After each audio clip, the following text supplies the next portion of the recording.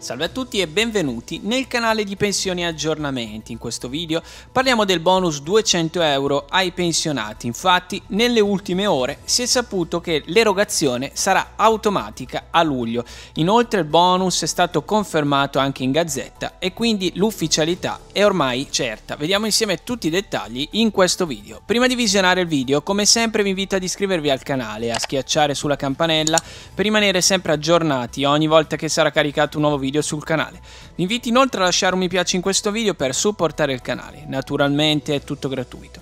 A sostegno dei pensionati con un reddito fino alla soglia dei 35.000 euro è in arrivo il bonus da 200 euro previsto dal decreto aiuti per compensare tutti quegli effetti economici che sono stati provocati dall'aumento dell'inflazione nell'ultimo anno. Il provvedimento prevede l'indennità una tantum in favore dei soggetti residenti in Italia titolari di uno o più trattamenti pensionistici a carico di qualsiasi forma previdenziale obbligatoria, di pensione assegno sociale, di pensione assegno per invalidi civili, sordo sordomuti e ciechi, nonché di trattamenti di accompagnamento alla pensione.